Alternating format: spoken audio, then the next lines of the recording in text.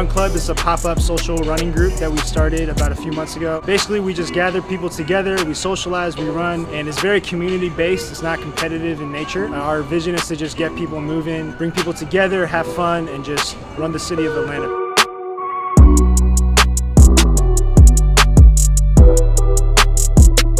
Tonight we had a collaboration run with Patagonia and we did a two mile loop around the store. We had a social event afterwards, had music, had food, free beer, had some shirts that we gave away and just had a good time after.